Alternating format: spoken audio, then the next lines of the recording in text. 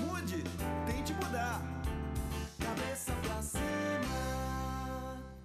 Olá, queridos. Está no ar mais um programa Cabeça para Cima. Gratíssima pela sua companhia aqui com a gente a cada dia, participando, mandando sua opinião, sugerindo novos temas e, especialmente, falando sobre como o tema que a gente conversa aqui reflete para você, reflete na sua vida, trazendo bênção, trazendo informação. Que coisa boa!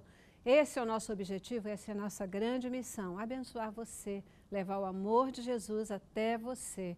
E quando a gente sabe que isso foi alcançado, nós ficamos gratos, primeiramente a Deus, por nos usar como instrumento de bênção para chegar até você, para ajudar você a ter uma vida melhor. Na verdade, uma vida plena e abundante, como o próprio Senhor Jesus quer e preparou para cada um de nós. Né? Muitíssimo obrigada de verdade pela sua companhia e participação conosco.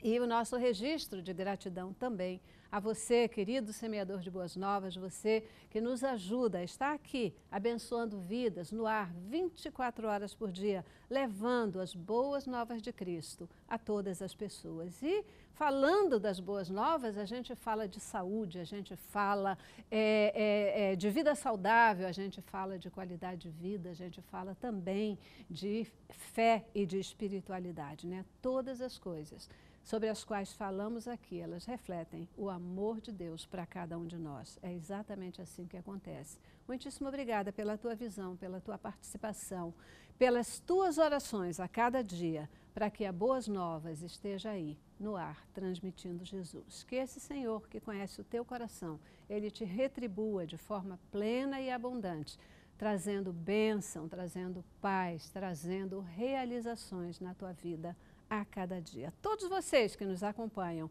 esse é o nosso desejo, essa, essa é a nossa oração. Que o Senhor te abençoe, te guarde, que Ele mantenha a sua boa mão de graça sobre a tua vida, trazendo graça, misericórdia, paz e realizações. Muitíssimo obrigada mais uma vez pela companhia de todos vocês. No programa de hoje, nós vamos conversar sobre direitos humanos. Na verdade, nós vamos também falar de mulher. Certamente você já tem ouvido aí uma frase que é muito falada nos nossos dias, onde se diz que a mulher pode tudo. Uma frase que para alguns soa de uma forma estranha, talvez porque não percebam que nessa frase existe, na verdade, um grito, um grito por direitos iguais, numa sociedade que é muito pouco igualitária. É fato que nos últimos tempos as mulheres têm conseguido conquistas muito relevantes, mas ainda existe uma estrada longa, muito longa, a ser percorrida. Barreiras fortes, barreiras importantes a serem é, rompidas, a serem vencidas. E especialistas do mercado têm afirmado que um dos fatores importantíssimos para se conseguir vencer essas barreiras é que se entenda que a sociedade como um todo, não apenas as mulheres, entendam o que efetivamente significa essa história de empoderamento da mulher, que também tantas pessoas têm falado, né? A gente fala hoje em dia e às vezes não entende o seu efetivo sentido. É preciso entender que empoderamento da mulher não é uma bandeira de uma pessoa ou de uma organização, mas é uma bandeira de uma sociedade como um todo. E é sobre isso que a gente vai conversar no Cabeça para Cima de hoje. Começamos com o nosso informativo. Em 2010, a ONU lançou os Princípios de Empoderamento das Mulheres, que incluem medidas como estabelecer liderança corporativa sensível à igualdade de gênero, tratar todas as mulheres e homens de forma justa no trabalho, promover educação, capacitação e desenvolvimento profissional para as mulheres promover a igualdade de gênero através de iniciativas voltadas à comunidade e ao ativismo social, entre outros. Portanto, essa busca das mulheres pela igualdade social, política e econômica é definida como empoderamento. E é esse movimento que vem crescendo, com mais atenção da sociedade e aceitação. Os números mostram que, apesar de ainda preteridas em muitas situações, as mulheres se mostram cada vez mais protagonistas. Elas são maioria nas universidades e escolas, com 58% das vagas universitárias. As mulheres comandam também financeiramente quase 40% dos lares brasileiros. E nas empresas, a participação é ainda maior. 43% dos empreendedores brasileiros são mulheres. E mais, o sexo feminino movimenta a economia, afinal, elas são o maior mercado consumidor do mundo, girando 20 trilhões de dólares por ano. Pois é, né? Incrivelmente, quando a gente vê o informativo dessa forma, né? Com, com esse tipo de informação, mostrando a posição das mulheres nas escolas, nas universidades, no mercado de trabalho, é, na economia do país, parece até que efetivamente as mulheres têm uma posição de destaque e têm esses, essas posições reconhecidas nesse mercado. Por que então? As mulheres ainda não conseguem é, ter direitos iguais aos dos homens, porque apesar de representar uma fatia tão forte da economia, elas não conseguem ter salários iguais no mercado, por exemplo. Por que, que elas não podem ocupar é, posições de liderança na grande maioria das empresas?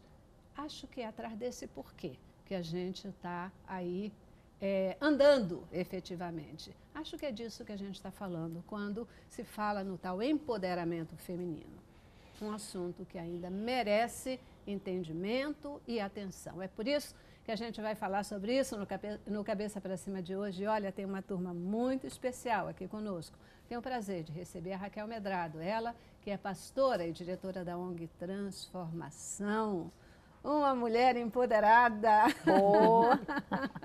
Obrigada, Raquel. É bom estar aqui e trazendo um assunto como esse, né? A gente tem que discutir para que essa palavra, o empoderamento, não deixe a mulher nessa luta pelos seus direitos isolada numa posição de, de briga, de, de menos-valia. A gente tem que trazer esse assunto para que, de uma maneira bem simples, que possa dar um entendimento a muitas mulheres que estão nos assistindo, o real valor dela, o que ela pode fazer pela própria vida dela e a condução e as decisões importantes que durante muito tempo ficaram delegadas à mão de terceiros, né? É verdade. Então é nós verdade. vamos conversar sobre isso. É isso, né? muito bom, muito bom. Obrigada por estar aqui com a gente. Quero apresentar para vocês também a Débora Medeiros, fisioterapeuta. Uma delícia ter você aqui com Obrigada. a gente hoje. Obrigada. Obrigada, Celeste, mais uma vez por essa oportunidade de comunicação de um assunto tão relevante tão importante, necessário, polêmico e também ter a oportunidade de estar comunicando, que a gente tá, vai conversar aqui para os homens, né? porque esse assunto é um assunto de toda a sociedade. Então estamos aqui com, entre mulheres para falar sobre empoderamento feminino e para esclarecer algumas questões também junto aos homens, né? Uhum, verdade. É, espero né? que a gente consiga alcançá-los hoje também. É nesse sentido que a gente coloca, né? Não é uma bandeira das mulheres, uhum. é uma bandeira da sociedade, né? Uhum. E por isso tem que ser entendido por homens e mulheres, né? A mulher não se empodera sozinha. Não. É um caminho inicial, ela não se empodera sozinha, não. não. é? Vamos ouvir, quero ouvir a opinião de vocês sobre isso. E quero apresentar para vocês também Solimar Lessa, ela que é coach de imagem, primeira vez aqui no Cabeça com a gente. Muitíssimo obrigada pela sua presença. Obrigada a você pelo convite. Espero contribuir também para o empoderamento feminino, para que isso se, se torne mais evidente aí durante, é, de acordo aí com, com as polêmicas. Uhum. E vou pegar carona aqui com a amiga. Realmente não é uma questão somente do universo feminino. Essa nossa sociedade patriarcal, essa cultura que a gente vem vivendo durante muito tempo do machismo, da presença masculina, talvez impeça uh, ainda uma colocação melhor nossa. Uhum em relação ao nosso empoderamento, em relação a essa, essa igualdade mesmo, uhum. política, econômica, social. Então, acredito que o programa também vai servir para os, para os homens que estão nos assistindo. eu tenho certeza. E eu espero que sirva para as mulheres, para os homens, para os jovens, para as meninas, uhum. para as crianças, né? porque é algo que a gente tem que é, mexer em todo mundo, né? Para que a gente comece é, ou continue aí com uma transformação verdadeira, né? Verdadeira, é, nesse contexto social. Eu queria, assim, é, é minha primeira provocação para vocês, colocar, existe alguma diferença entre a questão do empoderamento feminino que tem se falado agora e a questão do feminismo, que é aí, né, uma história que já vem. O feminismo se fala há bastante tempo. Empoderamento é uma coisa mais nova, né? Uhum. É, dentro dessa fala, mas é tudo a mesma coisa ou tem diferença? Tem uma ligação, sim. A gente está falando de um movimento de uma terceira onda do feminismo que está acontecendo agora. A gente estuda bastante sobre a primeira onda, sobre o direito ao voto, o direito à propriedade. A segunda onda na, na na década de 60, 70, sobre direitos iguais, direitos políticos iguais, que, enfim, a gente ainda vai estar tá num processo de conquistar. E dentro dessa terceira onda, o empoderamento feminino traz uma perspectiva de união, de solidariedade, de comunicação. É, não é só assumir os mesmos lugares que os homens para reproduzir o patriarcado que ela falou, uhum. as mesmas condições, as mesmas relações, as disputas, né? Uhum. as relações não saudáveis. Uhum. Então, é, a proposta desse empoderamento é que seja um empoderamento que traga é, empatia, que some, né? Que some Não umas com as outras, é, que a gente que o fortalecimento seja um fortalecimento entre mulheres e que atinjam as crianças, meninos e meninas, e que englobe os, os mais velhos e que englobe os homens. Então, é uma proposta de união, é uma proposta de uma sociedade melhor, uhum. uma sociedade mais humana, uhum. é uma sociedade mais solidária. Então, é, não existe um trabalho de empoderamento feminino sem estar conectado com a história do feminismo. Uhum. Tá? Mas a gente está. O, tra o, trabalho inclui solidariedade entre as mulheres, uhum. fraternidade uhum. né, entre nós. É como se fosse um, um movimento precursor. Né? A, o feminismo iniciou e depois veio o empoderamento feminino, que não é aquela coisa como as pessoas costumam ver, ah, você é feminista. Às vezes tem até preconceito em relação uhum. a, a, pessoas palavra... que são feministas, uhum. acha que é um movimento radical.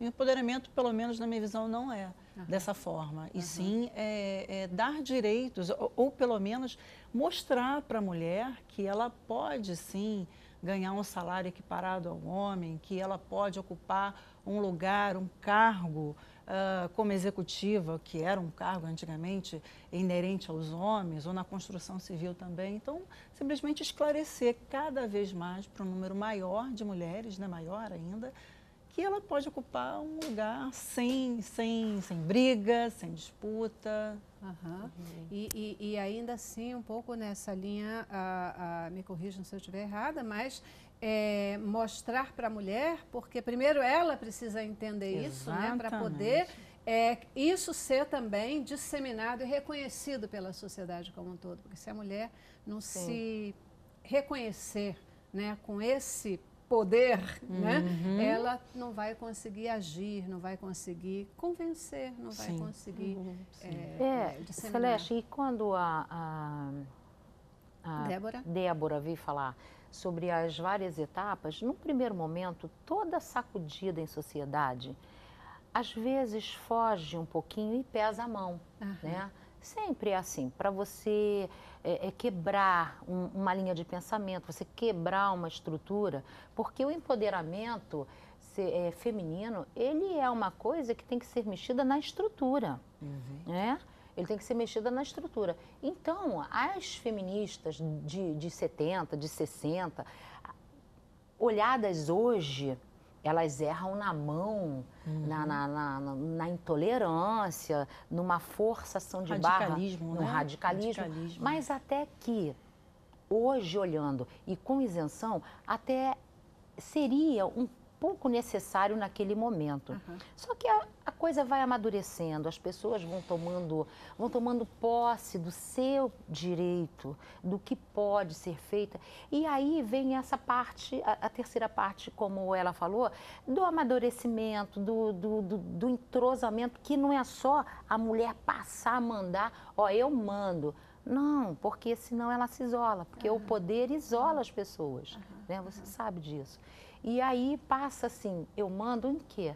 Eu mando nos meus, no que eu gosto, mas para minha família ter uma qualidade de vida, para eu me dar bem com meu parceiro, para o meu parceiro me respeitar, para os meus filhos me respeitar também como um ser pensante, como uma pessoa que contribui e muito para a sociedade. Aí vem o equilíbrio, né? Que as nossas relações têm que ser pautadas por quê? Pelo equilíbrio. Eu acho que cada vez mais a coisa vai, vai se equilibrando e e a gente vai, vai chegando a um, a, a um lugar melhor para todos nós, para a sociedade, para os nossos filhos, para os nossos companheiros também, uhum. que morre de medo de uma mulher empoderada. pois é, eu, eu fico pensando assim, eu gosto dessa palavra de amadurecimento, né, para é. essa, essa onda vamos chamar uhum. assim, né, do empoderamento. Eu gosto dessa palavra de amadurecimento, porque traz exatamente essa ideia né, do estágio da sociedade, um amadurecimento de entender o que, que é essa história, de entender que não existe. É, o que, que a gente está falando de igualdade entre as pessoas, igualdade entre homem e mulher. Entender que essa história de mando foi tudo que a gente, ao longo do tempo, reagiu e reclamou. Não existe uhum. essa história de quem manda, quem deixa de mandar. Uhum. Né? Existe uma união, uma união de talentos, uma união de, é, é, de dons, uma união de direitos e que uhum. isso redunda numa sociedade mais saudável, sem dúvida uhum. nenhuma. Né? É, é, eu já preciso ir para o meu primeiro intervalo, a gente vai para o intervalo e volta já já porque quero continuar falando sobre isso e também provocando vocês, porque se tem um negócio que eu acho que a gente talvez pudesse mudar, é, fosse exatamente essa palavra empoderamento, porque quando a gente fala de empoderamento, parece que a gente está dizendo assim, agora eu tenho a força, eu tenho o poder, eu é que mando, né? E é, essa é mesmo a essência da palavra empoderamento é na linha do poder ou é na linha do fortalecimento? Já já, depois do nosso intervalo. Vamos lá. Cabeça pra cima.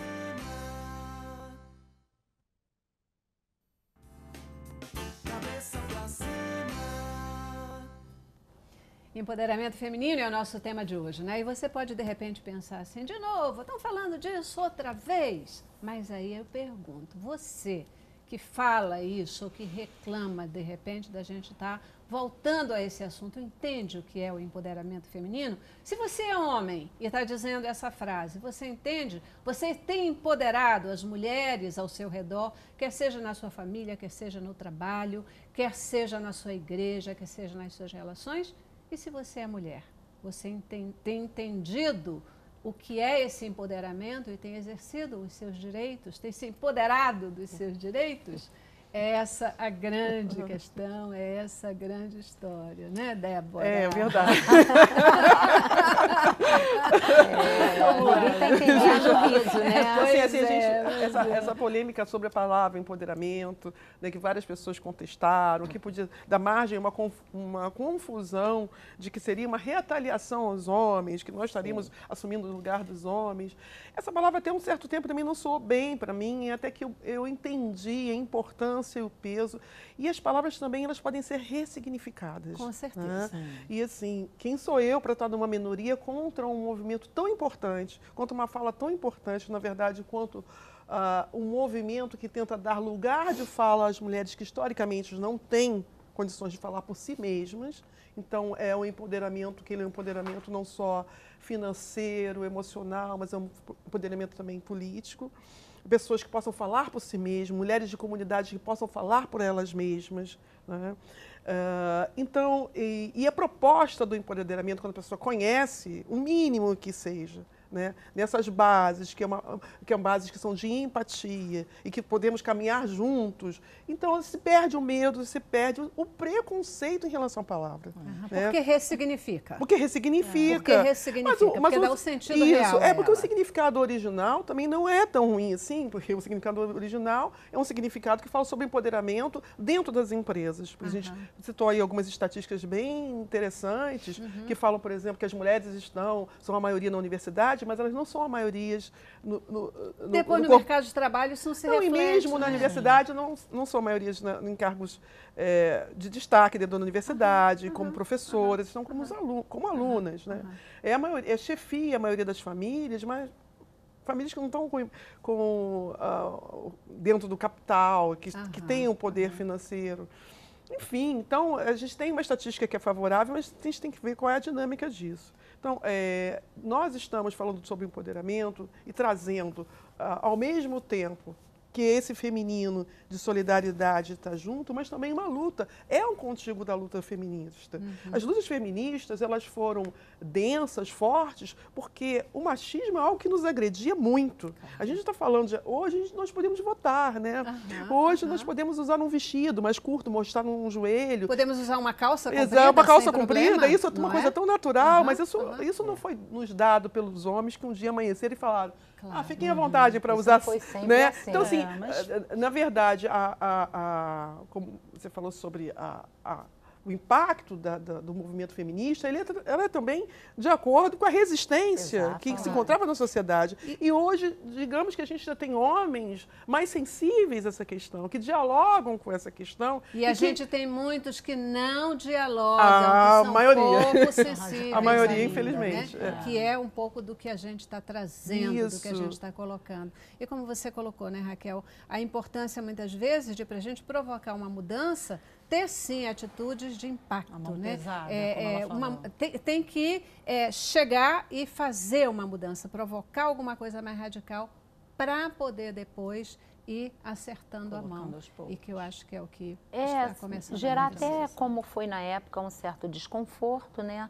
Porque veio uma proposta muito radical e batendo de batendo com em crenças pré-estabelecidas e que eram as certas de ser seguida acabou, obedece, manda, né? Uhum. Manda quem pode obedece quem e obedece juízo. quem tem juízo.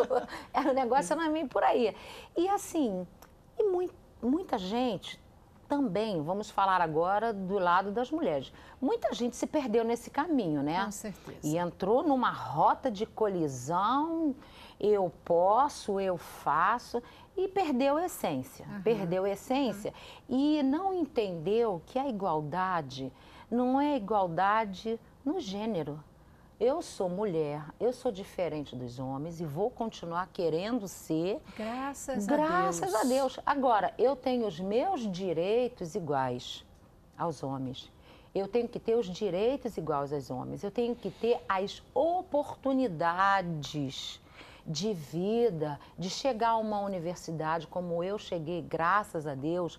Mas eu sei que isso não é a, a, a, a história do nosso Brasilzão. Verdade. Entendeu? Verdade. Então, é sobre isso que, que, que essa palavra, empoderamento, é você entender que você tem que assumir um papel. Uhum. Mas também quando você assume um papel e um papel de poder a sua pessoa, tem também em contrapartida que você tem responsabilidade nessa transformação. Você tem que usar o que você recebe, uhum. não de uma maneira, porque você percebe que houve uma inversão o autoritarismo só mudou de lugar, né? Antes era totalmente na mão dos homens e aí passou, não, tipo, eu mando, agora ninguém mais manda Agora sou eu que mando, agora sou eu, eu que estou nessa posição. a mandar a ser autoritária. Acarretou uma disputa, né? Acho Exato. que transformou numa disputa entre Exato. homem e mulher. E eu acho que, que, é que, que de uma maneira muito eh, clara, a Débora colocou, né, de uma maneira rápida e clara o histórico, que hoje aí o interesse não é o ter o poder, é você usar esse poder de uma maneira harmônica. Verdade. de você caminhar. Empoderar. Mas acho que é só uma interpretação, assim, eu acredito que seja, é, acho que eles tinham que escolher uma palavra para é, dar um título para esse movimento. Só que as pessoas interpretam da, da maneira errada, porque você dá poder, tudo bem, você está dando poder, mas não mais do que você tem. Eu vou agora ter um pouco mais de poder do que eu tinha. Só que as pessoas começaram, ah, empoderamento, empoderamento, acho que interpretaram de maneira errada. É nesse Esse- sentido, me permitam, é nesse sentido que eu coloco é, é, assim a minha questão com relação à palavra. É, entendo e concordo que ela precisa ser ressignificada. E cada um, homens e mulheres, sociedade como um todo, entender o que, que a gente está falando quando está falando desse empoderamento. Na verdade, nós não estamos falando de poder, aquela história do poder, da autoridade, Eu do eu que mais. mando, não sei o quê.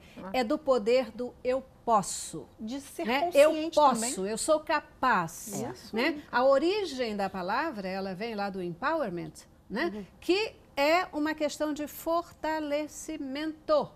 Né? E não de poder, como muitas vezes De a gente confunde. É nesse, nesse ponto, nessa sutileza que está a questão. Então, o empoderamento é cada um de nós, homens, mulheres, sociedades como um todo, entender que mulheres têm direitos iguais aos homens, porque são seres humanos. Mulheres têm diferenças, né?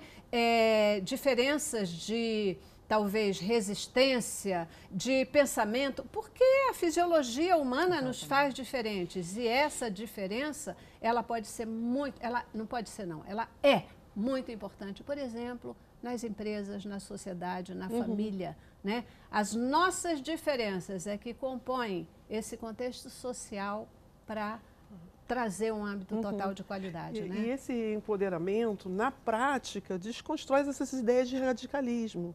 Empoderamento. Uma pessoa, uma, uma professora pode empoderar meninas. Né? Como ela pode fazer isso? Proteger essas crianças dentro da sala de aula, ah, com relação a brincadeiras ou ofensas, na verdade, ofensas eh, machistas. E falando para as meninas do lugar delas, do lugar que elas podem ocupar naquele momento, do lugar que elas podem ocupar no futuro. Isso é empoderar meninas, isso é empoderar, empoderar mulheres, empoderar outras professoras, empoderar as funcionárias da, da limpeza, com, enfim, diretoras, com propostas de grupos de discussão. né? se você é uma pessoa que trabalha no RH, se você tem uma empresa, você pode contratar mulheres e pagar a elas os mesmos salários. Ou questionar os seus patrões se estamos recebendo ou não os mesmos salários. Tratar com deferência a outra mulher, estimular e que ela possa conseguir, mesmo que a empresa se- tenha uma cultura machista. Essas práticas de empoderamento feminino são práticas maravilhosas, belíssimas, necessárias e eu sempre falo inteligentes, Aham. porque já se provou que a diversidade numa, numa empresa, ela faz com que a empresa melhore, tenha mais Enriquece, perspectivas e que lucre certeza. mais. Aham, Então, a presença de uma mulher, não só a presença feminina, mas a presença de uma mulher empoderada em diversos níveis de cargos e segura de si, ela vai contribuir para que aquela empresa prospere. né? Então, a prática do empoderamento afasta a gente dessa discussão se empoderamento é uma coisa, uma palavra feia ou se é uma palavra bonita, porque a prática, ela urge e ela é mais do que necessária. Ela vai se tornar feia ou bonita se a gente entender do que a gente está Exatamente. falando. De Entendeu do que está falando? Perfeito, É. não tem problema nenhum. Né? Mas se a gente é, é, for entender, ah, ah, desculpem assim insistir na história, né? mas é porque se a gente ficar entendendo como empoderamento é eu agora é que mando, aí Como uma danou-se, né? A gente vai é, alimentar uma primeira onda que ela Isso. já deve ter passado, disputa. porque a gente já está aí numa terceira onda. Graças De- a Deus já Solimar, está passando. é, você, por exemplo, trabalha né, com uma questão de. é, você é coach de imagem. Sim, né? sim. É, como é que essa função coach de imagem pode ajudar nesse processo de empoderamento da mulher? Principalmente é, para que ela tenha consciência da autoimagem, porque a gente fala de coach de imagem, a gente pensa no estereótipo, a gente pensa no externo. E na realidade a gente trabalha como ela se vê por dentro, que eu acho fundamental para o empoderamento dela. Você pode, como eu falei com as colegas em off, você pode profissionalizar, você pode conversar, você pode dar um salário de. Você pode dar um cargo de presidente para ela. Mas se ela não se enxerga daquela forma, se ela não tem consciência de quem ela é, nada, nada daquilo vai adiantar. Primeira, primeira dificuldade que ela tiver, ela vai se retrair. Então, eu trabalho fazendo com que ela consiga, a pessoa, no caso, consiga primeiro ter consciência do que ela é, da essência dela, ter uma autoestima bem colocada, desenvolvendo a autoconfiança. É uma base, é como uhum. se fosse, você está uhum. tá trabalhando a base para depois ir para a parte externa. Ela uhum. vai aprender a lidar com ela, aprender a lidar com as questões, com as crenças, com as limitações, com algo que tenha reprimido por algum, alguma razão, né? Ah, o ser, o poder dela, e aí sim tendo a consciência, é, tendo uma, uma, uma autoimagem verdadeira, se aí sentindo sim, gente... forte, Isso, né? se sentindo capaz, Isso. É a se base sentindo igual. Exatamente. Se sentindo igual, porque o que acontece ela muito é atuará é como uma igual. Né? Existe muita, existem muitos clientes que vêm, me buscar, vêm, vêm buscar o meu trabalho justamente procurando algo externo. Mas aí a gente começa a trabalhar a parte interna da pessoa, mostrando que o que está por fora não está dando certo porque o que está dentro não está legal. Isso é bacana porque até aí as, as, os médicos né, que trabalham com essa questão de saúde, eles dizem, você, a tua beleza exterior, ela depende né, é, é do teu interior, depende da tua saúde. Você vai ser mais bonita é, é, ter uma aparência mais bonita, quanto mais você se cuidar, né? Tiver uma se boa amar. alimentação, uhum. exercício, etc. Então, até isso, né? Mesmo para a beleza exterior, a gente está falando de uma questão interior. E essa questão, né, da, por exemplo, do volume das mulheres, que hoje são maioria nos bancos escolares, isso já é um grande encaminhamento, é um forte sinal, né, de também é, um, é, a gente poder ter um reflexo melhor em termos do mercado, na sociedade como um todo, porque essa capacitação, ela é essencial para que a gente possa, para que as mulheres como um todo possam ir ocupar posições uhum. é, é, de liderança, exercer os seus papéis sociais é, com é, capacitação adequada, uhum. não é mesmo? A gente já precisa de novo ir para o intervalo. Olha, toda hora, né? Toda hora a gente vai parando. E aí a gente vai para o intervalo e vamos uh, voltar entendendo um pouquinho quais são os maiores desafios que se tem, que a sociedade tem pela uhum, frente, para que a gente consiga uh, estabelecer essa igualdade de direitos, consiga ter essa mulher empoderada. Eu queria que vocês falassem um pouquinho sobre quais são as vantagens para os homens né? Para a gente ter a mulher empoderada, né? Para que é, haja um entendimento disso uhum. e de uhum. repente não se estabeleça uma história de medo. Não, não posso dar poder para a mulher não, porque isso vai complicar a minha vida. Eles né? entenderem por que, que a mulher fica chateada quando abre a porta, né? eu não fico não, tá? Eu, eu também não fico. Eu também não. Mas tem que entender, pode, quando a novinha não gosta. Pode pagar a conta, pode, pode mandar também. flores, pode. eu vou adorar eu e não vou sentir... Bem satisfeita. Essas gentilezas... Oh, empoderada eu sou capacitada, mas gosto. É, quando não vem acompanhado de um kit que não é bom, tem que ver.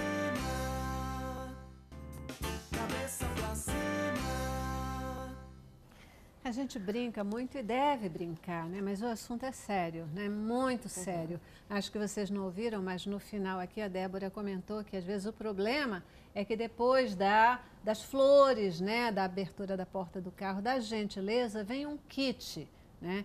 Que ele parece obrigatório, né? Parece obrigatório. E a grande questão é que quando a mulher é empoderada, quando ela sabe quem ela é, quando ela é confiante, ela vai poder reagir de forma bastante natural a esse kit. Mas quais são os desafios principais hoje na nossa sociedade ainda para é, é, é, rompimento de barreiras, barreiras fortes que ainda Sim. existem nessa questão? É, eu acho que o principal desafio eu aceito da, da diversidade que se encontra nas mulheres. Né? Quando a gente fala dessa mulher empoderada, é, que, tem, que já está dentro de um carro, que um homem pode abrir a porta, ou que consulta uma coach, a gente está falando, nós estamos fazendo um recorte. Claro, né? total. A mulher na sociedade brasileira é uma diversidade de mulheres, Uh, Existem também as mulheres negras, que têm uma pauta separada das mulheres brancas, porque vivem uma realidade diferente. As mulheres periféricas, as mulheres na área, na área rural. Então, o nosso desafio é que consigamos dar voz para todos esses segmentos, que eles possam falar por eles mesmos, para que a gente não, não tenha que falar sobre, sobre outras mulheres. Aham. E o desafio é desenvolver em todos os homens, que também é uma diversidade de homens, a tolerância pela diferença. Porque, na verdade, a raiz disso tudo é o homem enquadrar a mulher e não tolerar, não só que ela seja igual, mas que ela também seja diferente. Aham. né? E mais do que tolerar, entender, né, Débora? É. Tolerar, A gente tá parece- trabalhando- É, tolerar pode dar uma, uma sensação ou uma, uma interpretação Uma conotação de eu benesse, aceito. né? É, De benesse. né? Eu aceito, deixo. tá bom, eu tolero. Só que não Aham. é. É, quando eu a gente fala de- entendo, eu é, entendo, a gente está falando entendo tolerância como sinônimo de respeito. Perfeito, Né? isso. É, porque, no Aham. ambiente de trabalho, é, um- se um homem respeitar a mulher, Aham. a, a gente já, já é, um isso que a ponto de gente quer. avanço. É isso né? que a gente se um quer. homem respeitar uma, uma enteada, né? se não houver um abuso, que é um abuso não é só um abuso sexual, mas um abuso psicológico, já é um ponto, né? não é um pedido de, de amor. Amor é algo que é a consequência. Aham. Mas a, a bandeira é uma bandeira para o respeito, respeito ao espaço, respeito à fala, a, a proteção de nós mesmos, a proteção dos nossos corpos. Aham. Então, um grande desafio é todos esses lugares serem representados e todas essas mulheres, todos esses grupos poderem terem voz e a gente ouvir o que, que essas pessoas estão precisando e qual o caminho que a gente tem que traçar juntos. Né? Porque acaba que a gente fala aqui dentro do- muito do nosso, do nosso ponto de vista, da nossa classe. Da nossa É, realidade. e assim, a gente precisa estar é, preparado, esse grande desafio, para colher essa diversidade de vozes e entendê-la, de diversidade de posições. Aham. Né? Nós, mulheres, somos um grupo diverso. Total. né? Você fala nós mulheres, então eu, eu vou falar algo sobre a união também, que eu acho que é um grande desafio. Não, eu não acredito muito na união, eu acho que as mulheres elas precisam se unir mais em prol delas mesmas. Você, a gente assiste às vezes eh, mulheres disputando umas com as outras eh, por conta de insegurança. É, ela se sente segura em relação à outra, então critica. Então eu acho que isso tem que diminuir. A gente tem que se unir mais, a gente tem que ter mais empatia uma com a outra, a gente tem que entender que o propósito é um só. Independente, né? A gente tem várias situações dos homens, ah, do machismo, da, da desigualdade econômica em termos profissionais, mas eu acho que se houver mais união, em prol desse movimento, eu acho que vai ser um grande desafio a ser vencido pelas mulheres. Essa desunião, desculpa, ela, é- ela é fruto da- dessa construção É. ma- é, é, machista. Ela não é algo inerente à mulher, é algo Ah, eu- cultural. Eu, eu acho que que é sim. inerente. Eu É, acho. então vamos, Eu vamos, acho que a vamos discordar, de porque um a gente tem esse de- espaço também Claro, para discordar. né? Claro. é, eu Aham. acho que existe. É, assim, Eu acho que gente- grupos. A gente vê em pequenos grupos, Não, às pelo contrário, assim, as, as experiências que eu tenho, ah, as crianças sobrevivem nas comunidades pela solidariedade entre mulheres. É, o homem abandona muitas vezes e, e as mulheres naquela rede de tias, avós, mães é que estão ali amparando meninos e meninas. Então, é, até essa dizer que nós não somos unidas, que competimos umas com as outras, ah, a gente tem essa cultura e nós estamos quebrando com elas, mas ela- elas não fazem, não está no do- nosso DNA, isso eu quero dizer.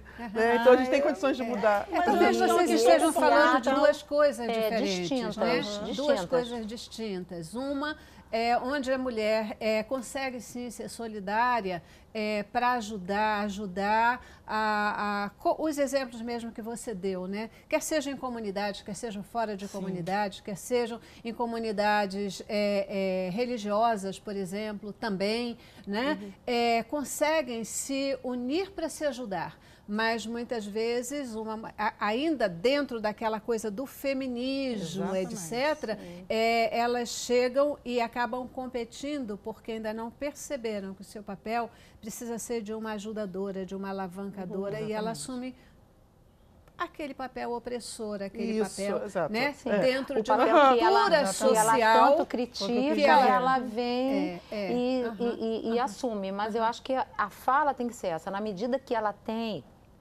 que ela, que ela consegue enxergar que o poder a ela, esse empoderamento é muito maior do que o, determinadas coisas pequenas, que é a nível de sociedade. Por exemplo, foi falado aqui e Provocar disso eu mudança entendo. na sociedade. Exato. Uhum. Gente, a gente trabalha numa, numa comunidade, então a gente percebe esse tipo de coisa porque às vezes nós, o nosso mundo, a gente tem um papel, uma, uma, uma sociedade é certinha. Mas às vezes a gente vai numa comunidade que não existe a mãe, que não existe o pai, e tias, irmãs mais velhas, uhum. vizinhas até, elas formam uma rede para abraçar, para acolher uma criança uhum. que está sem essa estrutura familiar. Uhum. Então, isso é bem bonito de se ver, esse movimento, isso é um poder também. Porque quando a gente fala de poder,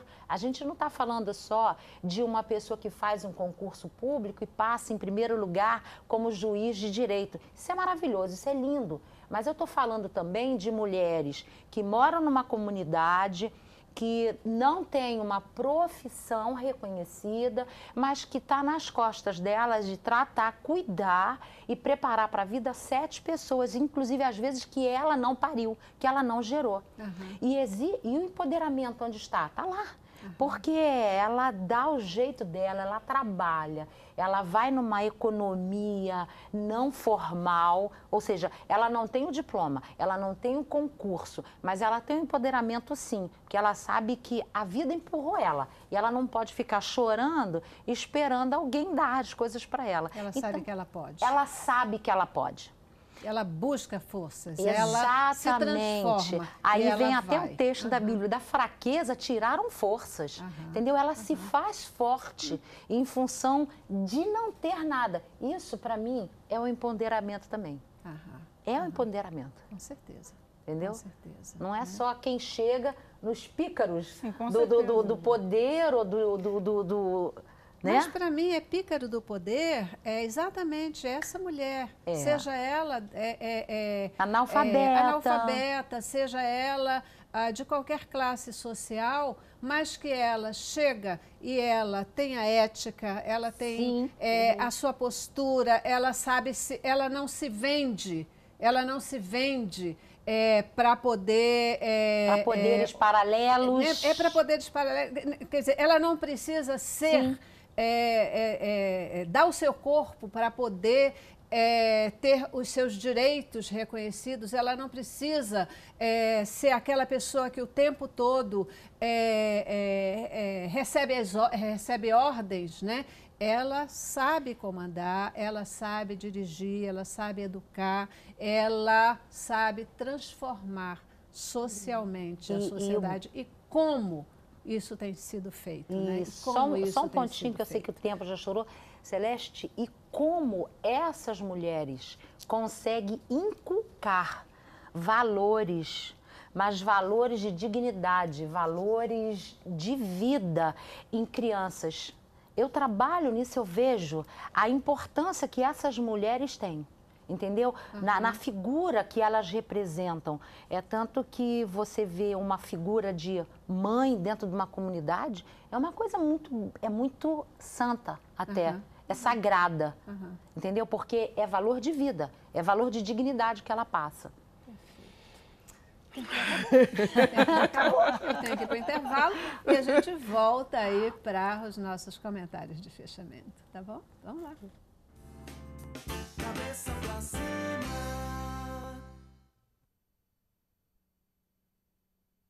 Pra cima. Isso aí, né, gente? Tá vendo? A gente precisa de mais programas aqui para conversar sobre empoderamento feminino, porque é uma reflexão assim bastante ampla, realmente bastante ampla, e que é, é, a gente precisa falar sobre isso. É falando que a gente vai desenvolvendo o conceito realmente e criando essa massa, né, essa massa é, de qualidade é, para que haja um entendimento social do, dessa questão do empoderamento feminino. Né? O tempo é curto, está acabando, não tem uhum. jeito. Uhum. No tempo que a gente tem, eu queria agradecer já a presença e participação de vocês e daqui esse tempinho final, para o recadinho final de vocês, para o nosso telespectador. Quem quer começar?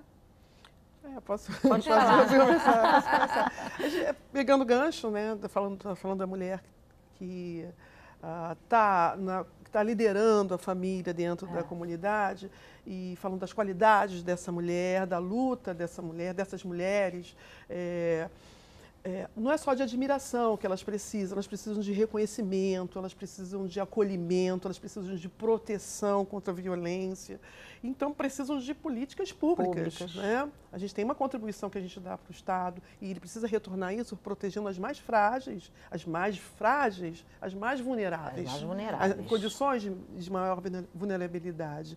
Então, ah, isso é um recado para homens e mulheres, né, que estão nessas cadeiras e que podem definir essas políticas. E muitas vezes quem vai estar lá lembrando que essas políticas são importantes são as mulheres que estão conectadas com essa questão do empoderamento. Os, os, homens vão direcionar para outras questões. Então essa sensibilidade, essa escuta do homem, esse que o homem precisa escutar, essa fala dessas mulheres nesse lugar, esse entendimento vai resultar no, no suporte para essas mulheres que estão é, ali na, na nossa Né? talvez invisíveis para a gente, e, e uh, enfim, elas, a gente sabe que elas existem, mas não estamos o tempo todo em contato. Você se expõe bastante, porque você faz um trabalho numa ONG, sabe qual a necessidade uhum. de assistência dessas mulheres, Perfeito. até para que esses valores que elas têm se perpetuem e não sejam degradados. Né? E nesse sentido desses valores, é importante lembrar que mulheres que são mães, é, que são educadoras, é, é, isso é importante que seja repassado na formação dos filhos, especialmente Exatamente. dos meninos, uhum. né? Para a gente meninos. poder criar, especialmente dos meninos nessa questão da cabeça machista, né? Uhum. Para a gente poder criar uhum. esse Sim. fortalecimento. Isso é a responsabilidade dos pais. Da sociedade. Exatamente. É, e também a cobrança também dos entes públicos para que faça uma política social direita, de fato, para que isso volte para essas mulheres, não só para essas, para mim também, para você também, que temos o direito de estar sentada numa rede de televisão, entendeu? Essas políticas públicas é, vêm em benefício dessas mães, desse, desse, empoderamento feminino. Perfeito. Porque não é só mandar. Mandar em quê? No nariz? A gente manda. Mas tem que ter local para deixar um filho com segurança, tem que ter condição de exercer uma atividade que não dá Verdade. E vamos lembrar que política pública, ela vem na medida que também nós, enquanto sociedade, exigimos. Cobramos. Nos posicionamos, Sim. cobramos, é. votamos. Exatamente. E colocamos é. e tiramos pessoas também. É, não é só queimando, não é queimando é ônibus nem queimando pneu. É isso aí. É chegando lá no dia aí. da votação, tira. Isso aí. Tira. E se candidatando. de quem ela é, é e se candidatando também. Para poder votar mais de uma maneira mais assertiva e se permitir também é, é, se manifestar corretamente para poder ter o lugar dela ali. É verdade. E nesse se permitir, é, Solimar, eu coloco é, se empoderar, né? É, se preparar, se capacitar e assumir o comando da sua vida, né? Porque Exatamente. começa por cada um de nós começa por cada um de nós. Só quando eu assumo o comando da minha vida, eu posso exigir do outro e posso gerar Sim. transformação, né? Obrigadíssima pela presença Obrigada. e pela reflexão. Adorei conversar uhum, com vocês aqui hoje. Foi empoderador esse programa para nós. É, foi, nos empoderou. Nós, nós todas aqui e quem está assistindo, com certeza. É. Bacana. E o interesse é que quem está lá do outro lado da linha consiga entender o que a gente falou, né? Porque esse programa foi feito para. Pra... É isso aí, para o telespectador. É. Né? Para nós e para o telespectador. Obrigada mais uma vez. E, gente, a gente termina o programa com a boa música da Renata do Vale, que canta para a gente hoje aqui ao vivo. Obrigadíssima pela sua presença, Renata. Obrigada mesmo, tá bom? Canta para gente.